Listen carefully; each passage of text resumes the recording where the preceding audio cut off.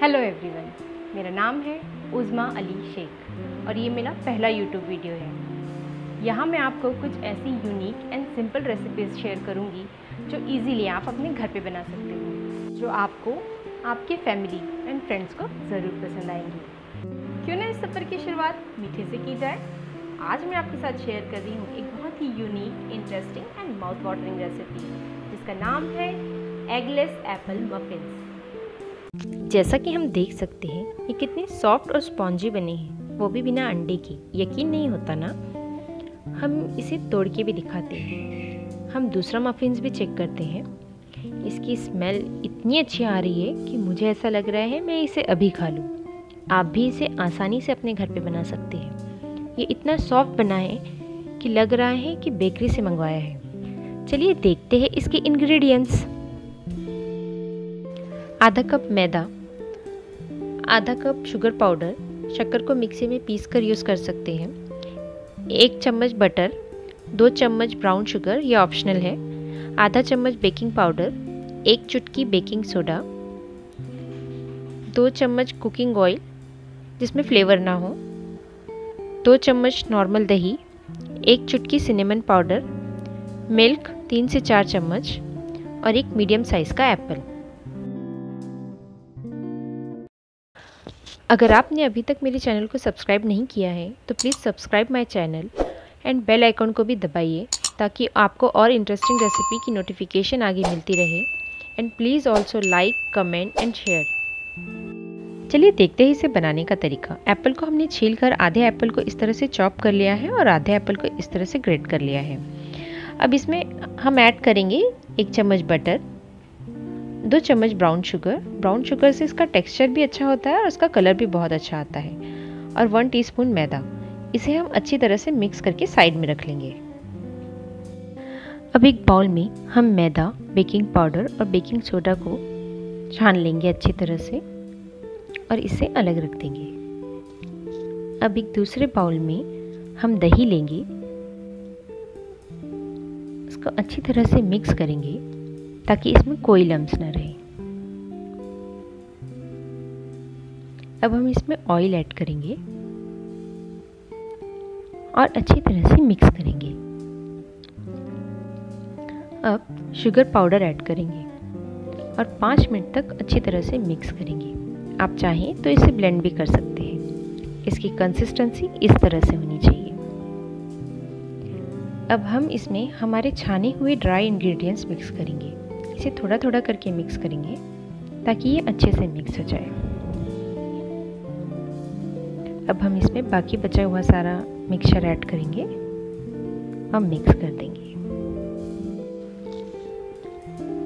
देखिए, अभी ये कितना थिक है। इसमें हम अभी मिल्क ऐड करेंगे। मिल्क थोड़ा थोड़ा करके ऐड करना है हमें। हम अगर एक साथ पूरा मिल्क ऐड कर लेंगे तो हो सकता है हमारा जो बैटर है, वो लिक्विडी हो जाए। और इससे होगा क्या? इससे हमारे जो मफ़िन्स हैं, वो अंदर से कच्चे ही रह जाएँगे। इसके लिए हमें थोड़ा थोड़ा मिल्क ऐड करना है। मैंने इसमें लगभग तीन से चार टीस्पून मिल्क ऐड किया है।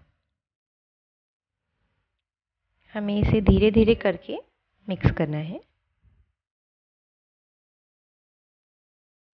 अब इसमें हम हमारा ग्रेटेड किया हुआ एप्पल डालेंगे। इसे अच्छी तरह से मिक्स करेंगे।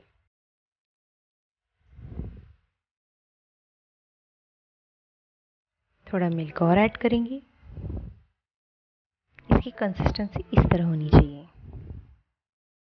और सिनेमन इससे इसकी स्मेल बहुत अच्छी आती है। ये है कपकेक ट्रे और ये है पेपर कपकेक मोल्ड जो मार्केट में इजीली अवेलेबल होते हैं। इसे हम इस तरह से रखेंगे।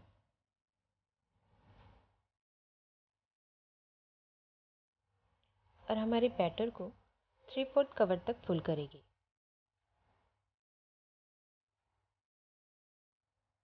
इस तरह से।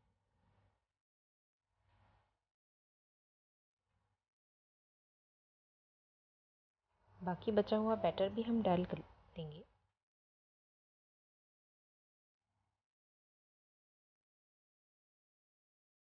इसे हम अच्छी तरह से टैप करेंगे ताकि इसमें कोई एयर बबल्स ना हो।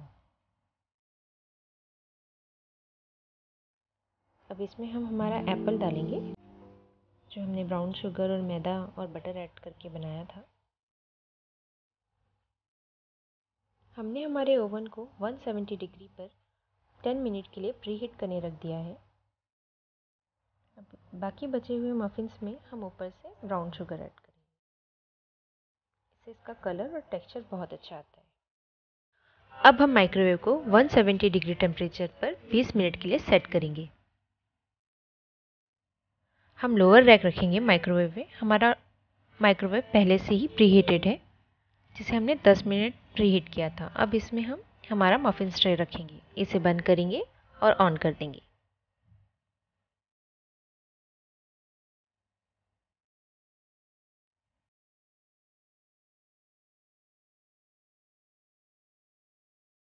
चलिए देखते हैं हमारे मफिन्स रेडी है या नहीं। ये पककर पूरी तरीके से तैयार है। हमारे मफिन बिल्कुल रेडी है। चलिए देखते हैं ये कैसे बनी है। देखिए, ये कितने सॉफ्ट और स्पॉन्जी बनी है। वो भी बिना अंडे की। यकीन नहीं होता ना? चलिए देखते हैं हम इसे तोड़ के। चलिए, हम दूसरा मफिन्स भी चेक करते हैं।